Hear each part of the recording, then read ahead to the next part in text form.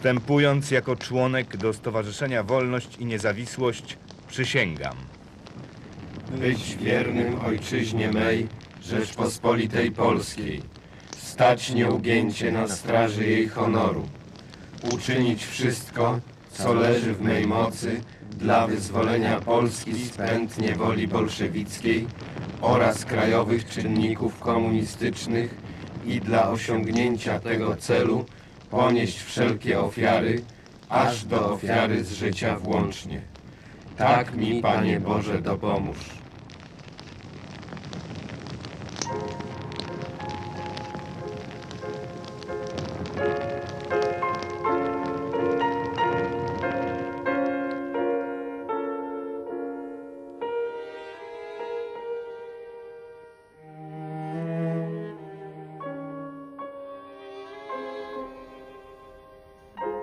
Doszło do powstania tej organizacji niepodległościowej na ziemię polskie, po odrzuceniu Niemców na zachód, weszła Armia Czerwona.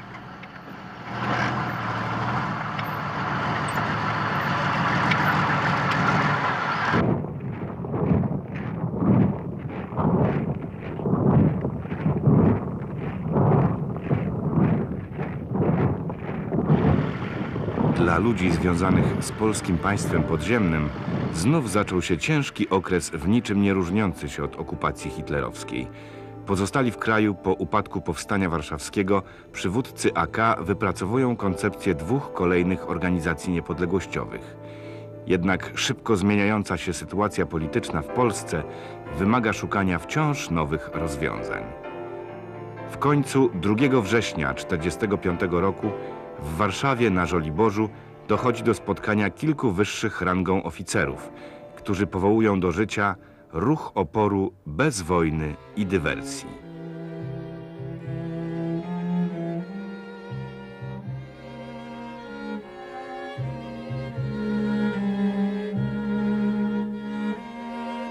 W zebraniu tym brali udział pułkownicy Jan Rzepecki, Janusz Bokszczanin, Franciszek Niepokulczycki i Antoni Sanojca. Nowo powstała organizacja będzie nosiła nazwę Stowarzyszenie Wolność i Niezawisłość, w skrócie WIN. Dla przywódców WIN-u organizacja była przede wszystkim depozytariuszem idei niepodległości oraz symbolem walki o nią. Miała wreszcie przetrwać do wolnych wyborów, przenieść ideę niepodległości do wolnych wyborów i ulec rozwiązaniu po przeprowadzeniu tychże wyborów. Wreszcie organizacja miała sprawować swoisty patronat dowódczy nad pozostającymi w lasach oddziałami partyzanckimi. Siłą więc rzeczy WIN odwoływał się do szerokich grup społecznych i uzyskiwał poparcie tych szerokich grupach społecznych. Należy jednak podkreślić, że trudno, bardzo trudno jest jednoznacznie określić profil ideowy Zrzeszenia Wolność i Niezawisłość. Był on bardzo zróżnicowany. W największym skrócie można chyba określić go jako odwoływanie się do idei solidaryzmu społecznego oraz oparcie ideologii win na, tutaj cytuję z pamięci, fundamentach tak drogich dla wszystkich prawdziwych Polaków ideałach chrześcijańskich. Sformułowanie to znalazło się w deklaracji programowej WIN z września 1945 roku. Będąc organizacją, która w istocie kontynuowała tradycję ogólnonarodowej, ponadpartyjnej Armii Krajowej, Zrzeszenie Wolność i Niezawisłość było niejako skazane jako organizacja polityczna na szukanie partnerów do swoich przedsięwzięć politycznych. Siłą rzeczy głównie partnerzy tacy znajdowali się w podziemiu, w podziemiu niepodległościowym jednoznacznie odrzucającym sowiecki dyktat nad Polską. Symbolem tego typu powiązań jest oczywiście Komitet Porozumiewawczy Organizacji Polski Podziemnej. Głównymi postaciami tego komitetu byli pułkownik Wincenty Kwieciński, lider Stronnictwa Narodowego Włodzimierz Marszewski i przedstawiciel obozu piłsudczykowskiego, pułkownik Wacław Lipiński. Niezwykle ważnym partnerem dla Zrzeszenia Win stał się Kościół katolicki.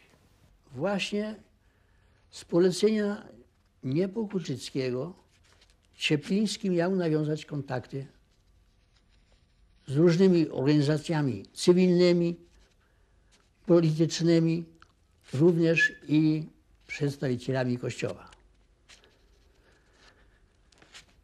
Doszło do spotkania z Chlądem, z kardynałem Chlądem, który wrócił niedawno z emigracji i nie orientował się, jaka jest sytuacja w Polsce.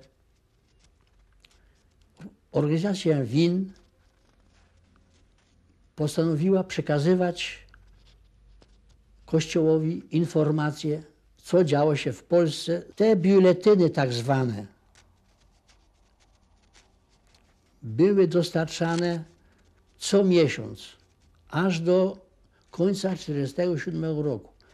Jeżeli chodzi o sam Kraków, to również zostały nawiązane kontakty z kurią krakowską i były przekazywane również te wiadomości sapiesze przez księdza kanclerza Mazanka, jak również jego brata, wizytatora, księdza Stanisława Mazanka, a także przez redaktora nowo otwartego pisma katolickiego, Tygodnik Powszechny, Utworzenie e, winu w kraju spotkało się z negatywną oceną oficjalnych środowisk polskich w Londynie, zarówno rządowych, jak i wojskowych.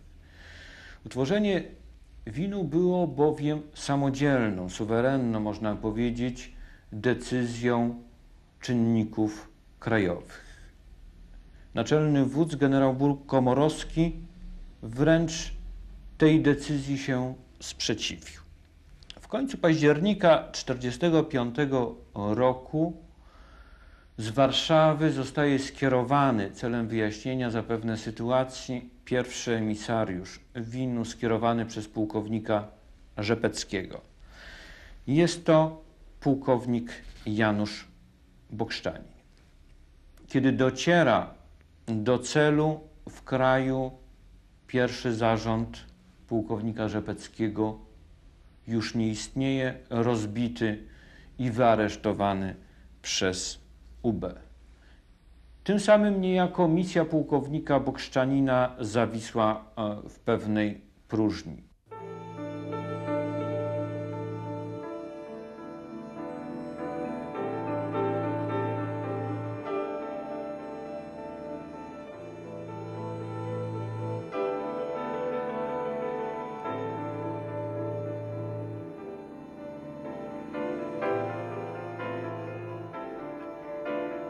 Pierwszym okresie działalności WIN był olbrzymią organizacją liczącą 20-30 tysięcy członków. Aby tak wielkie stowarzyszenie mogło normalnie funkcjonować i realizować założone cele, trzeba było zorganizować wywiad i łączność. Jednym z ich organizatorów był Henryk Żuk. W 1945 roku na terenie już całej Polski łączność była o wiele łatwiejsza, bo już kursowały koleje. Poza tym zorganizowaliśmy wspaniałą komórkę samochodową łączności, kurierską, która potrafiła bardzo szybko dotrzeć w każdy zakątek Polski, prawda, zawieźć tam rozkazy polecenia i przywieźć stamtąd odpowiednie materiały wywiadowcze. Komórkę tę zorganizował kapitan Janek Ciborski. I nawet zorganizowaliśmy zakład naprawy samochodów na ulicy Karolkowej. Nawet taką małą fabryczkę, gdzie mogliśmy te samochody remontować, poprawiać, prawda, odnawiać, zmieniać tam różne znaki, które by mogły być przydatne dla UB śledzących nas. I w ten sposób łączność, ta łączność wywiadu winowskiego opierała się na naszej komórce samochodowej. Gdy wyjeżdżałem do Włoch, przekazałem całą tę komórkę samochodami, z ludźmi, z uzbrojeniem i z papierami e, bezpośrednio do dyspozycji pułkownika Szepeckiego. Łączność Winowska była oparta na łączności Armii Krajowej. Po likwidacji, po wkroczeniu Armii Czerwonej, łączność Wino, Armii Krajowej została rozwiązana. I wtedy z nią kontakty nawiązywali z komendy Winu. I pierwsze meldunki, które szły, to jeszcze były nadawane ze starych miejsc Armii Krajowej z rejonu Miechowskiego. To znaczy powiatu miechowskiego wtedy, to znaczy stamtąd. A później były nadawane z Krakowa. Po stracie radiostacji przy ulicy Mazowieckiej ostatni nadaliśmy ostatni meldunek z ulicy Szlak. Ostatni meldunek był przesłany przez pułkownika Cieplińskiego i nadane z niego zostało tylko połowę meldunku. Ruscy, jak myśmy się zorientowali, że są w kamienicy, natychmiast zlikwidowaliśmy radiostację, więc wynieśliśmy, zwykle się przynosiło ze sobą radiostację z Meliny, a wtedy, mając tam u siebie, wyszliśmy na schody. Na schodach stała skrzynia z piaskiem przeciwpożarowym. Położyło się na ziemi radiostację i zasypało tym piaskiem na składce schodowej. A meldunki wszystkie w piecu były spalone. Wszystkie dokumenty i wszystkie meldunki. Myśmy byli jako pracownicy elektrowni. NKWD nas przesłuchiwało, ale wcześniej myśmy dokonywali kontroli po mieszkaniach jako pracownicy elektrowni, kontroli zużycia prądu, czy ktoś nie przeprowadza, jak się to nazywa, kradzieży prądu. Po kilkugodzinnym przesłuchiwaniu nas i, i poszukiwaniach wszędzie po całych, po wszystkich mieszkaniach przez NKWD, nic nie znaleźli, tak nas wtedy zwolnili. Po tej wpadce i stracie radiostacji łączność została zerwana winu z Londynem. Y, Kluczową sprawą dla każdej konspiracji jest łączność z ośrodkami i decyzyjnymi, z ośrodkami, które są w stanie wspomóc działalność y, tejże y, konspiracji. Y, W wyniku wpadki szefowej łączności zagranicznej pierwszego zarządu y, WIN, Marcysi, Malesy, została zlikwidowana tak zwana droga Konrada, stworzona przez narodowców, głównie w oparciu o Brygadę Świętokrzyską, prowadząca przez Czechosłowację. W ten sposób przez niemal rok, na rok czasu kraj został pozbawiony drogi kurierskiej na południe. Droga prowadząca przez Niemcy zachodnie, organizowana przez oddział drugi drugiego korpusu generała Andersa, również wkrótce przestała być aktualna. Najdłużej, aczkolwiek najbardziej drogą zawodną była droga północna y, via Bałtyk, którą, próbował organiz- którą próbowała organizować ekspozytura oddziału drugiego sztabu naczelnego wodza ulokowana w Sztokholmie. W zasadzie dopiero po dotarciu ekipy Maciołek Rostworowski, czyli w niemal w końcu 1946 roku, można mówić o nawiązaniu łączności kurierskiej z krajem. Łączność jednak nie była całkowicie zerwana. Głównie w tym celu wykorzystywano pocztę dyplomatyczną. Tyniec. Ten podkrakowski klasztor benedyktynów był tuż po wojnie ważnym ogniwem w łańcuchu kontaktów winowskich. Do roli, którą wtedy odegrał, predysponowały go historyczne powiązania z Zachodem.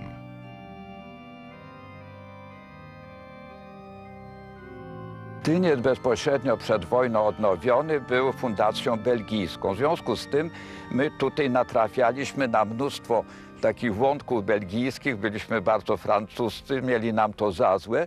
Z zewnątrz się to przejawiało tym, że po wojnie już e, zaczęli przyjeżdżać do nas i Belgowie i, nie, i niekiedy też i dyplomaci belgijscy. Dlaczego? Bo nasz przełożony był, był Belgiem i moi współbracia e, by, przeszli e, teologię w, w, w, za granicą. Można odtworzyć czas, kiedy ten kanał korespondencyjny funkcjonował oraz grupę osób, w kręgu których e, ten kanał powstał i był utrzymywany. Na pewno kanał ten funkcjonował w roku 1946 i 1947. Zapewne funkcjonował już od roku 1945. Bardzo ważną postacią w Tyńcu był wówczas ojciec Jan Wierusz Kowalski, który używał w korespondencji kor- y, konspiracyjnej pseudonimu Jan Kanty. Drugą taką bardzo ważną osobą dla utrzymywania kanału korespondencyjnego z Zachodem był ojciec Piotr Rostworowski. Obaj byli kuzynami i jednocześnie krewnymi Stefana Rostworowskiego, pseudonim Ignacy, bliskiego współpracownika prezesa obszaru południowego WIN, pułkownika Łukasza Cieplińskiego. Dzięki tym powiązaniom rodzinnym i kulturowym możliwe stało się wykorzystanie ambasady belgijskiej jako łącznika z Zachodem. W tym czasie przedstawicielstwo Królestwa Belgijskiego w Polsce mieściło się w hotelu Polonia. Prowadził je doświadczony dyplomata Harold Eman. Eman znał stalinowską Rosję z dyplomatycznej służby i już wcześniej zetknął się z brutalną polityką Kremla. W Warszawie obserwował proces zniewolenia, jakiemu został poddany naród polski. Sympatie miał jednoznaczne. Zarówno on, jak i jego najbliżsi współpracownicy, André Wendelen, a po jego odwołaniu Jacques Graf, byli owymi dyplomatami, którzy utrzymywali łączność winu z Londynem. Jednak największe zasługi w tym względzie położył konsul belgijski Edward Giacomini. To właśnie on bezpośrednio kontaktował się ze stroną polską. Łączniczkami winu były dwie kobiety, Helena Abakanowicz i Janina Czarnecka, pracujące w ambasadach państw zachodnich. Obie za tę działalność zostały aresztowane i skazane na długoletnie więzienie. Żaden z przywódców WIN nie był zwolennikiem utrzymywania oddziałów partyzanckich. Uważano bowiem zgodnie we wszystkich czterech głównych zarządach WIN, że walka partyzancka nie rokuje najmniejszych szans na powodzenie warunkach funkcjonującej, e, funkcjonujących układów jałtańskich. Dlatego też siłą rzeczy organizacja główny nacisk kładła na działalność wywiadowczą. Działalność ta z jednej strony umacniała zwartość organizacyjną zrzeszenia, z drugiej zaś pomagała informować świat o tym, co w Polsce się działo. Trzeba bowiem bardzo mocno podkreślić, że głównie był to wywiad cywilny. Początki wywiadu winowskiego bazują na siatce wywiadu ofensywnego oddziału drugiego Komendy Głównej Armii Krajowej oraz na siatkach wywiadowczych poszczególnych obszarów oraz siatce stworzonej dla potrzeb organizacji nie. Takim przykładem jest y, działalność siatki wywiadowczej kierowanej przez Henryka Żuka pod kryptonimem Pralnia 2. Dotarłem do Częstochowy, gdzie znalazłem podpułkownika dyplomowanego Jachimka. Przedstawiłem To był mój szef z, y, z wywiadu Akowskiego. Przedstawiłem mu swoje osiągnięcia, swój dorobek, y, swoją działalność, swoje meldunki i swoją koncepcję pracy wywiadowczej obecnie. Pułkownik Jachimek, jemu to się podobało, on to wszystko w zasadzie zaakceptował i przedstawił pod, y, pułkownikowi Rzepeckiemu. I tak koncepcja, którą my wypracowaliśmy na terenach wschodnich w okresie lipiec 44, styczeń 45, ta koncepcja pracy jemu odpowiadała i ona została przyjęta. Y, Polegała ona na tym, aby zarejestrować wszelkie przejawy bolszewizacji kraju.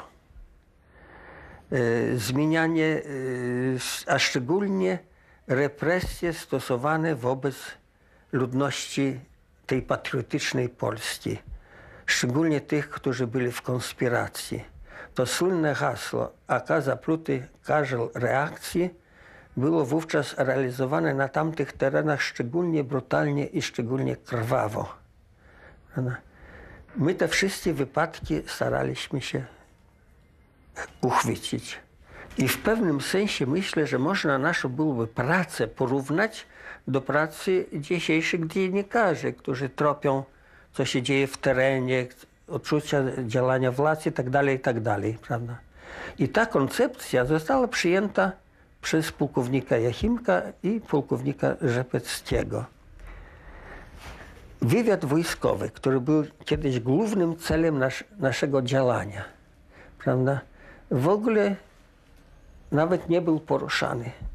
Bo to nie było w ogóle sensu prowadzić, bo przeciwko komu, po co, na co, w jakim celu. Także ta sprawa mojej działalności i mojej grupy wywiadowczej, prawda, znanej pod pralnią 2, w ogóle nie była brana pod uwagę. Sytuacja e, w konspiracji była tego rodzaju, że ta konspiracja usiłowała po okupacyjna, powojenna, już po okresie wyzwolenia, wprowadzać swoich ludzi do wszelkich struktur y, władzy nowej, aby uzyskiwać informacje, jak robiła i druga strona. Jako taki przykład przenikania wywiadu winowskiego w struktury komunistyczne można podać choćby powiat jarosławski, gdzie i komendant powiatowy Ormo był członkiem WINU, i komendant powiatowy milicji był członkiem WINU. W aparacie bezpieczeństwa kilku śledczych znane są ich dzisiaj już nazwiska, y, byli członkami WINU i dostarczali informacji, co się dzieje w aparacie y, bezpieczeństwa.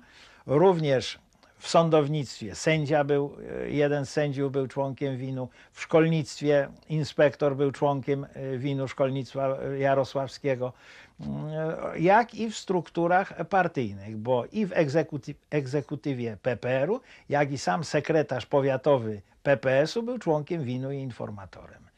Y, Podobnie się działo, władza również, y, szczególnie służby bezpieczeństwa, przenikały w struktury konspiracji wszelkiego rodzaju, a winowskich w szczególności na wszystkich szczeblach. A takim przykładem choćby może być y, sprawa niejakiego Ryszarda Strużyńskiego, który w 1945 roku w grudniu do winu kierował majora Muchanowa, a tymże Strużyńskim jest nie kto inny, tylko agent UB Reniak. Wywiad okręgu prowadzony przez e, pana Zakrzewskiego był dość, prawda, szeroki, mm, ale w zasadzie e, ograniczał się przeważnie do mm, źródła, jakim był Urząd, Wojewódzki Urząd Bezpieczeństwa Publicznego, gdzie e, mm, jeden z referentów, mianowicie Czesław Stachura, był członkiem WINU i stałym dostarczycielem informacji na tematy, które e, nas wtedy interesowały. Mm, Dostarczał te informacje, te dokumenty właściwie dostarczał do sióstr Borowskich, której jednej z nich był zakochany, także to jeszcze bardziej, że tak powiem, widocznie pod, jakoś zwiększało jego ambicje działania. I y, dalej te rzeczy były szybko mm, przepisywane i on rano mógł do biura, do mm, swojej szafki czy do szuflady z powrotem wnieść te mm, dokumenty.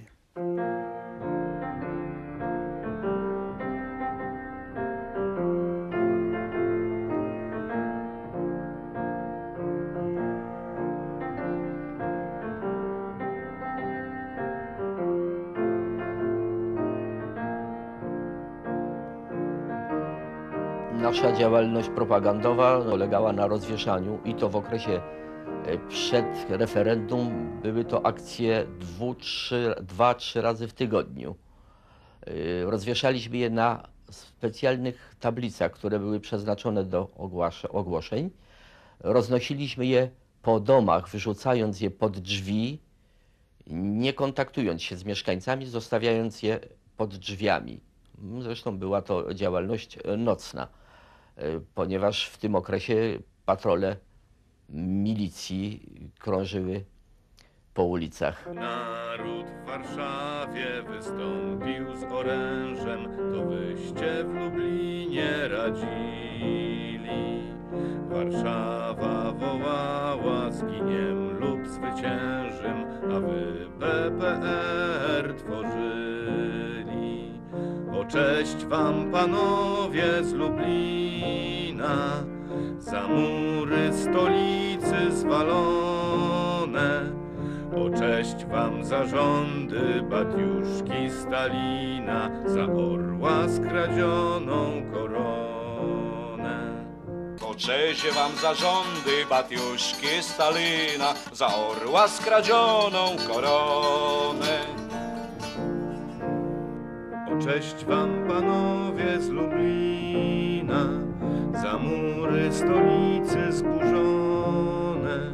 O cześć wam zarządy Batiuszki Stalina, za orła skradzioną koronę. Gdy ginął za wolność kwiat naszej młodzieży, a kowcy się w lasach trzymali.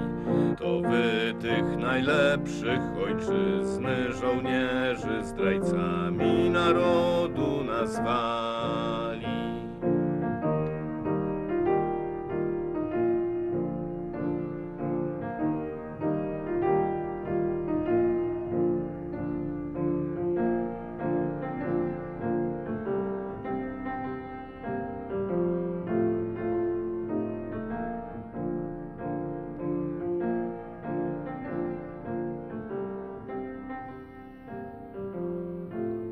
Ogromnej masy druków wydawanych z inicjatywy Winu najważniejsza była gazeta Orzeł Biały. Zorganizowanie drukarni mogłem podjąć sam. Dlatego wróciłem do Krakowa. Tutaj w tym momencie wrócił z obozu w Stalinogorsku brat. Ujawniliśmy się w Komisji Likwidacyjnej Armii Krajowej, a następnie skontaktowaliśmy się z Ludwikiem Kubikiem, który y, zaproponował dalszą współpracę w konspiracji, współpracę w Winie. Y, Skontaktował on y, z Łukaszem Cieplińskim i Błażejem brata i w ten sposób podjęliśmy organizację drukarni. Drukarnię zorganizowaliśmy w Maciejowie przy ulicy Wolności 283 u y, mieszkańca, byłego mieszkańca Rzeszowa, który tam otrzymał pracę i mieszkanie i który miał dobrze zorganizowaną skrytkę w tej swojej willi. I w marcu 1946 roku wydaliśmy już pierwszy numer nowego pisma. W międzyczasie, w jesieni, w październiku 1946 roku, 45 roku, przepraszam, ja podjąłem pracę w powielarni Wyższej Szkoły Handlowej przy ulicy Sienkiewicza 4 w Krakowie, gdzie otrzymywałem teksty od brata i drukowaliśmy wiele ulotek. Tak, w nakładzie około tysiąca sztuk ulotki y, naturalnie antykomunistyczne, antyperelowskie, dotyczące wyborów i przede wszystkim referendum. Y, Druk odbywał się do y, końca 1946 roku, z tym, że y, samym redakcją zajmował się brat mój Ludwik Naleziński, który otrzymywał teksty, y, jakieś komunikaty z, z, dowództwa, prawda? Ja prowadziłem zecerkę, składałem każdy numer.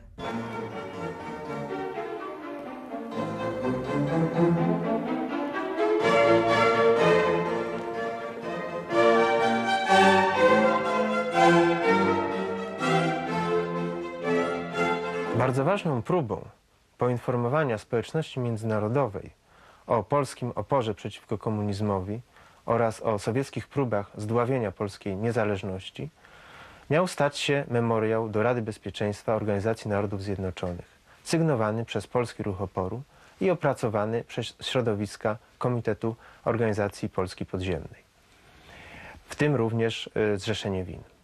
Memoriał ten miał być prze przedstawiony na forum Rady Bezpieczeństwa ONZ przez belgijskiego dyplomatę Henry'ego Spaka. Z nieznanych nam dzisiaj powodów nie został jednak wygłoszony. Można jednocześnie dodać, że dokument ten miał bardzo mm, ważną, wstrząsającą wymowę.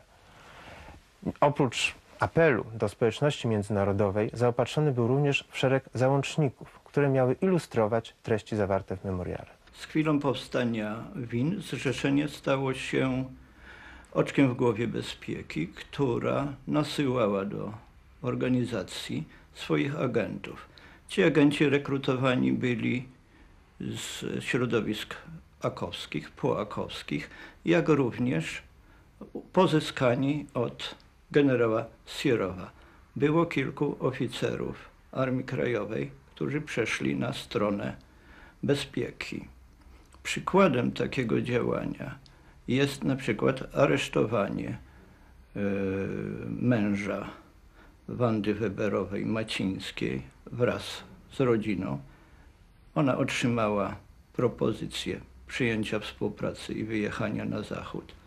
Już w ramach pracy dla bezpieki zrobiła to. Ciekawą rolę odegrał Franciszek Abraszewski, również oficer Armii Krajowej, organizacji oddziału zapory, likwidacji tego oddziału. On się jeszcze później pojawia w dość negatywnym świetle. Agentura, e, upraso, uprasowanie agentury bezpieki w zrzeszeniu notowano od pierwszej komendy. Szczególnie perfidną metodą UB niszczenia organizacji niepodległościowych były akcje ujawniania. Z pozoru chodziło w tych akcjach o wyprowadzenie żołnierzy AK z podziemia, ale pułkownik Czaplicki skrupulatnie wykonywał wytyczne z tajnej instrukcji UBP, nakazującej oficerów i żołnierzy wywiadu, dywersji i łączności po ujawnieniu internować. W ten sposób UB dotarło do Jerzego Kozarzewskiego Konrada. Idąc za Konradem, agenci z Regensburga dotarli do pana Michała Pobochy. I go oczywiście, jak innych tych wszystkich po drodze y, konspiratorów z tej linii przerzutowej, aresztowali. W jego mieszkaniu akurat przybywała Malesa, znana pod pseudonimem Marcysia. Była to niezwykle zasłużona działaczka konspiracji akowskiej. Szefowa energiczna, zdolna szefowa łączności zagranicznej Komendy Głównej AK, a w 1945 roku pierwszego zarządu WIN-u. Przywieziono ją na Mokotów i tu ona z niewiadomych przyczyn, nie wiadomo w jaki sposób, prawda, doszła do wniosku, że nie ma co ukrywać swojej działalności i działalności WIN-u. I ponieważ ona znała osobiście Rzepeckiego i całą czulówkę winu, prawda, jej załamanie, powiedzmy to tak, no było dla wino wprost tragiczne. UB, mając od niej informacje dokładne i szczegółowe o naszej grupie kierowniczej, rozpoczęła szeroko zakrojone, na szeroką skalę zakrojone aresztowania. W pierwszym rzędzie oczywiście zapolowano na pułkownika Rzepeckiego.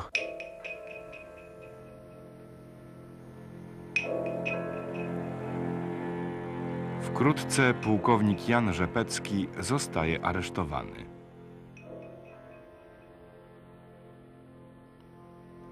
On też wydaje rozkaz przeprowadzenia ujawnienia.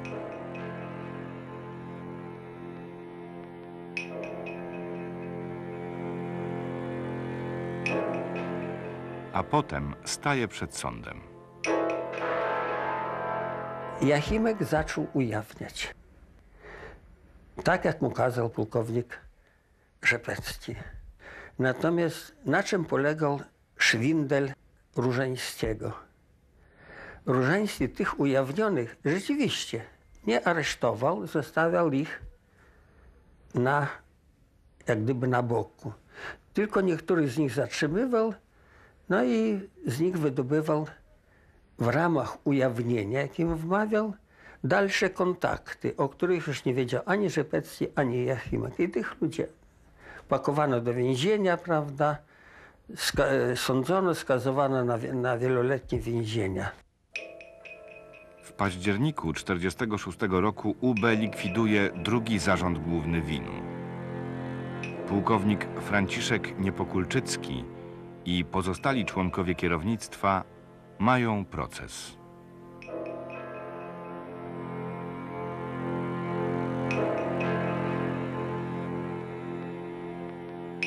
W styczniu 1947 roku UB aresztuje pułkownika Wincentego Kwiecińskiego.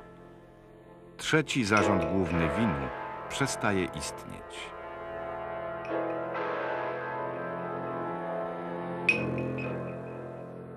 Mniej więcej w tym samym czasie w tej krakowskiej kamienicy spotkał się pułkownik Łukasz Ciepliński ze swymi najbliższymi współpracownikami. Powstaje czwarty zarząd główny winu. Prezesem zostaje Łukasz Ciepliński, a wspomagają go w konspiracyjnej pracy Adam Lazarowicz, Mieczysław Kawalec, Karol Chmiel, Franciszek Błażej i Ludwik Kubik. Wraz z upływem czasu stały kontakt winu z Londynem stawał się coraz bardziej niezbędny. Zrzeszeniu brakowało środków na rozwinięcie działalności w kraju, a także dokładnych informacji o sytuacji w Europie. Pułkownik Franciszek Niepokulczycki wysyła do Wielkiej Brytanii Kazimierza Rolewicza i Wacława Bnińskiego. Wcześniej jednak dotarli do Londynu dwaj inni emisariusze, Józef Maciołek i Stefan Rostworowski. Spryt polityczny i energia, z jaką Józef Maciołek przystępuje do działania, wkrótce przynosi efekty.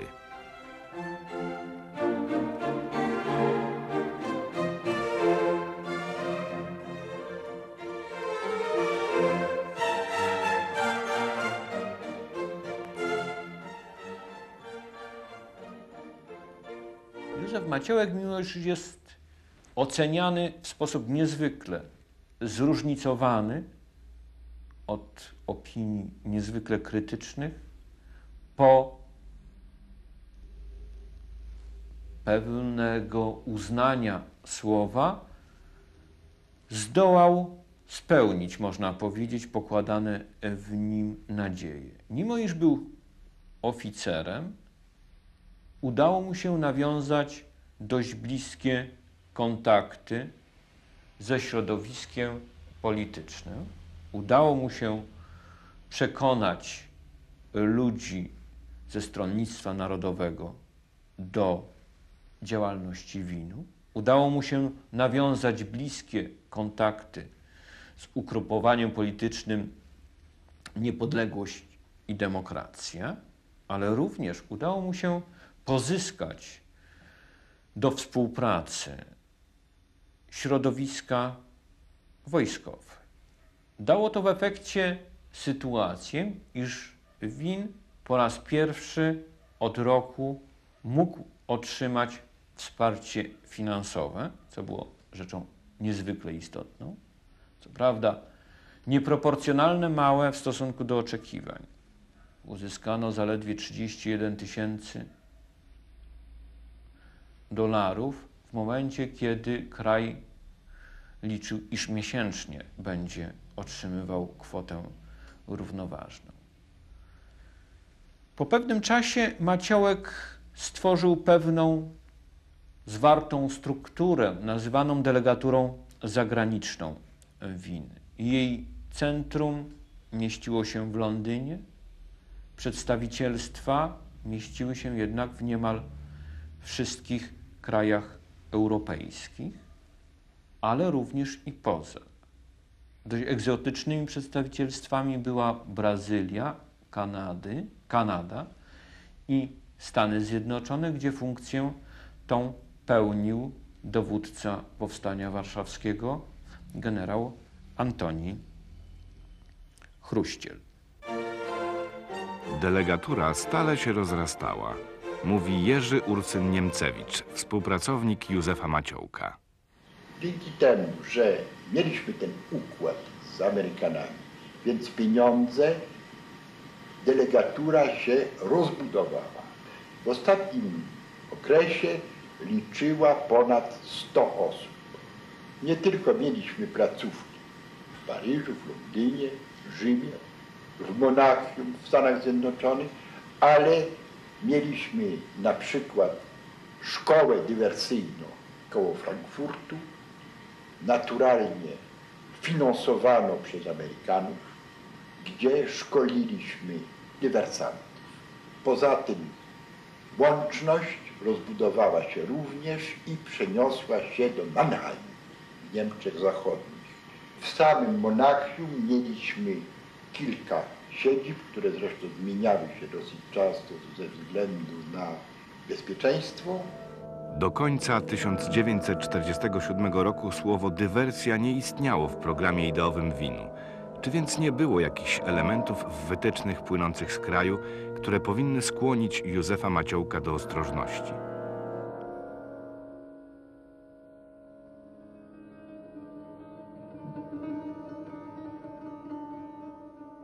Końcu 1947 roku Bezpieka rozbiła czwarty zarząd główny Zrzeszenia Wolność i Niezawisłość, kierowany przez pułkownika Łukasza Cieplińskiego.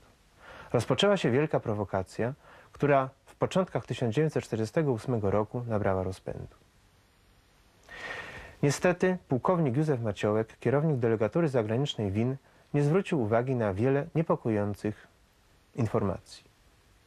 Przede wszystkim jego niepokój powinien wzbudzić fakt, iż w znaczący sposób dokonano zmiany akcentów y, i zmiany planów działalności zrzeszenia.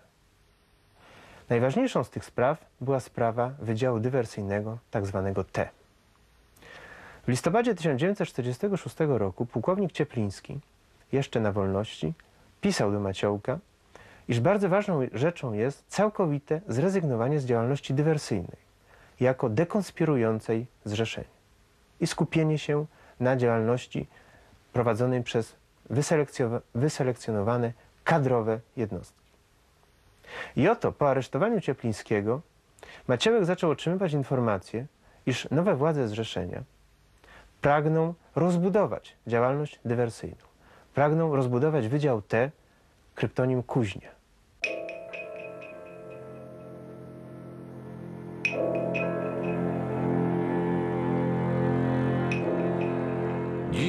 Wiemy, że Józef Maciołek był kierowany przez agenturę UB ulokowaną w Winie.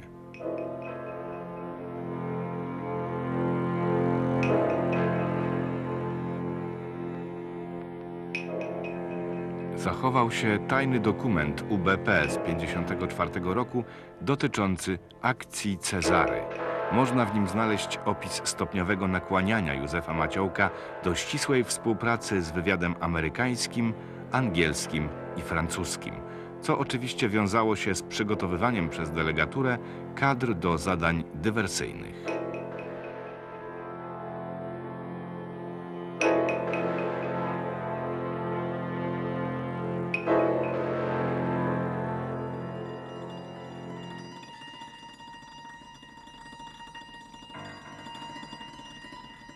Operacja Cezary rozpoczęła się w czerwcu 1947 roku w Rzeszowie od masowych aresztowań działaczy winu. Jesienią objęły one Kraków, a następnie Śląsk. Pod koniec listopada UB aresztowało pułkownika Łukasza Cieplińskiego, a dwa tygodnie później cały czwarty zarząd główny winu, z wyjątkiem Mieczysława Kawalca, znalazł się w więzieniu.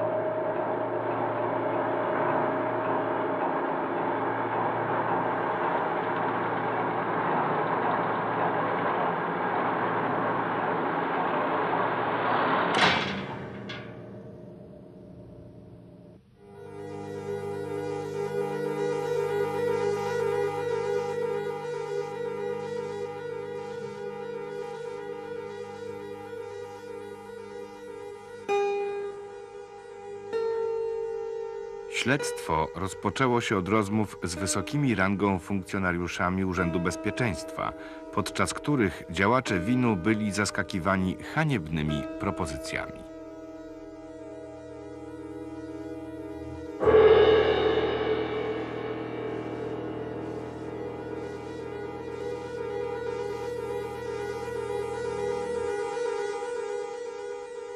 Pułkownik Ciepliński spokojnym głosem poinformował mnie o tym, że po aresztowaniu przedstawiono mu dowody w Ministerstwie Bezpieczeństwa Publicznego świadczące o rozpracowaniu naszej organizacji, o tym, że ministerstwo posiada olbrzymie materiały świadczące o tym, że struktury, i, i o tym, że struktury winu są rozpracowane przez Urząd Bezpieczeństwa. I w związku z tym podjął decyzję podpisania tego dokumentu o tak zwanym cichym ujawnieniu. Pułkownika Cieplińskiego wyprowadzono i pan minister Mietkowski zadał mi pytanie, czy jestem gotów przyjąć jego ofertę. Odpowiedziałem również nie. A dlaczego? Dlatego, że była pewna niekonsekwencja w działaniu ministerstwa. Z jednej strony mamy być objęci tak zwanym cichym ujawnieniem i zwolnieni do domu po zadeklarowaniu lojalności i złożeniu ze- zeznań. Z drugiej strony jestem namawiany do dalszego podjęcia pracy agenta w Londynie w delegaturze winu. W sposób jednoznaczny nie wyraziłem zgody na współpracę, co wyprowadziło z równowagi dotychczas spokojnego pana ministra, wiceministra Mietkowskiego, który w ostatnich słowach do mnie powiedział, jak chcesz umierać, to umieraj. Nie wszyscy z więzionych okazali się tak nieugięci. Należał do nich bliski współpracownik Mieczysława Kawalca, Stefan Sieńko. Zostałem aresztowany w mieszkaniu Józefa Rzepki podczas kolejnego kontaktu, tak bym to nazwał, prawda. Oni zaczęli podpytywać mocno o Kawalca, o Mieczysława Kawalca. I ja z tych rozmów zorientowałem się, że oni Kawalca nie mają. No i ja dla świętego spokoju coś tam podałem, jakieś, jakieś dane, gdzie on się tam gdzieś, czy, miał, czy w jakimś zebraniu y, miał brać udział, czy coś, prawda. No i któregoś dnia, prawda, wy, wyprowadzają mnie, prawda, z celi do kancelarii, wydają rzeczy, przyjeżdżał, przyjechał z MPP, przyjechał facet, zabrał mnie i od razu na, y, na mieszkanie konspiracyjne, prawda, jakieś takie, no nie wiem, które tam należały do bezpieki. No i tam się zaczęły rozmowy na nowo. I teraz tak, ja miałem wciąż na myśli to, że jednak no, jakie, jako, jaka była alternatywa, doskonale wiedziałem, bo tu bym był nieszczery, gdybym nie powiedział o tym, że ta myśl o tym, że tu jest szansa ratowania głowy, też odgrywa jakąś rolę, prawda? Aha, bo tam wyszła sprawa, że kurier przyjeżdża, że trzeba się będzie z nim spotkać i tak dalej. Wedle prowadzących grę najlepszym uwiarygodnieniem piątej komendy byłoby pozyskanie na komendanta głównego wybitnej osobistości z podziemia niepodległościowego. Proponowano wobec tego takie stanowisko członkom czwartej komendy win, między innymi Cieplińskiemu, Klamrze, Chmielowi, innym. Również czyniono starania, aby to stanowisko zaoferować generałowi Fieldorfowi. Wszyscy odmówili, wybierając śmierć. Bezpieka zadowalała się wobec tego e, agentami mniejszej rangi, Sieńką i innymi. Stawiała kadrowych pracowników.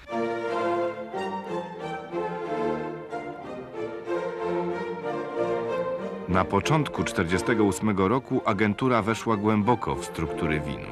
Czy w Londynie, w delegaturze, zdawano sobie z tego sprawę? Mówi Jerzy Ursyn Niemcewicz. Adam Boryczko powiedział mnie swoje zastrzeżenia co do ewentualnego przetkania kierownictwa winu przez B. Adam był w kraju dwa czy trzy razy. Był przyjmowany przez prezesa kierownictwa winu, przez Kosa, przez Zygmunta, szefa wywiadu i oczywiście przez Tadeusza, był szefem łączności. Adam Boryczko miał zastrzeżenia co do Zygmunta, którego podejrzewał o to, że jest wtyczką B. Wszystkie osoby, z którymi kontaktował się Boryczko w Polsce w latach 1948-1952 były uwikłane w prowokacje. Byli to albo kadrowi oficerowie UB, albo też agenci bezpieki. W styczniu 1952 roku nagle zakończono grę Cezary. Wszystko wskazuje na to, że decyzja zapadła w Moskwie. Prezes piątego zarządu głównego winu KOS oraz Stefan Sieńko, obaj agenci UB, ujawnili się i pozostali na wolności.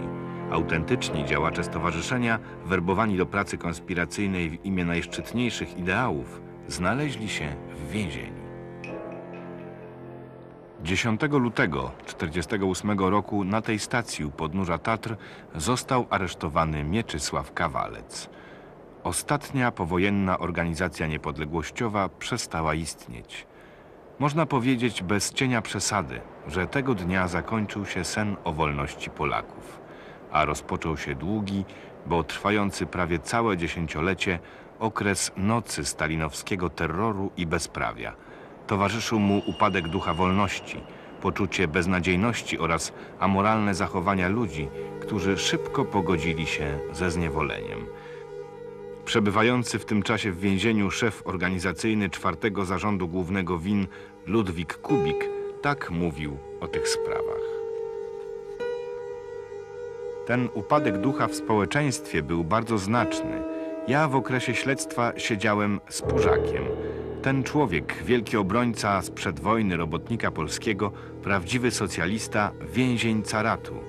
Na nim się tak mścili, że kiedy w mojej obecności staruszek Płużak dostał od żony paczkę, to oddziałowy, który się przedstawiał jako robotnik z Nadwisły, całą paczkę mu po podłodze porozrzucał. On tego nie mógł zrozumieć. Jak polski robotnik może poważyć się zniszczyć coś, co on więzień otrzymał?